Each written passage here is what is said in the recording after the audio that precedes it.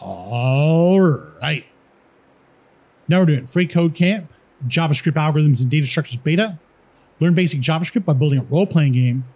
Step 135. All right. So at the end of our code, we're going to create a restart function. Inside this function, we're going to set XP to zero, health to 100, gold to 50, current weapon to zero, and we're going to set inventory to an array with the string stick. All right.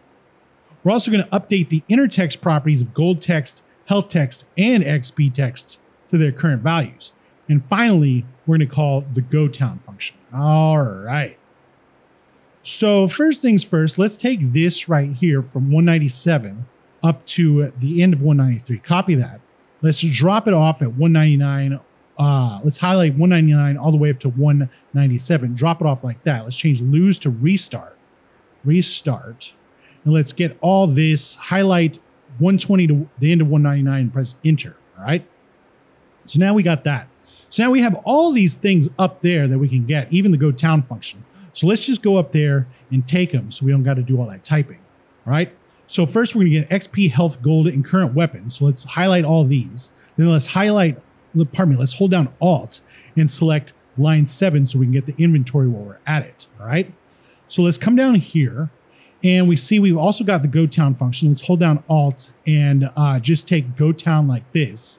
Then let's come down here and we've got, uh, what is it? Gold text and health text dot text.innerText right here. So let's hold down this and get all of 108 and 107. Then let's come all the way down here and let's get the XP text.innerText right here. Hold down Alt and select that as well. Now let's do a Control C to copy it. Let's uh, get over here to 200 and press Control V like that. So let's highlight all of these uh, lets that are over to the left and then tab it over one. Let's press enter in between uh, that and gotown. Let's take the gotown uh, line, copy that. No, let's not copy it. Let's just drag it all the way down to the end of 209 like that. And then let's bring these two over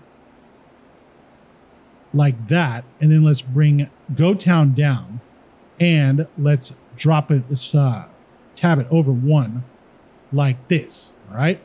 So now they're pretty much uh, delineated in a, I guess, good enough manner. You can do whatever you want. Uh, so that's pretty much all they want. Let's check the code. Looks good. And submit it. All right. Now we're on to step 136, and we'll see you next time.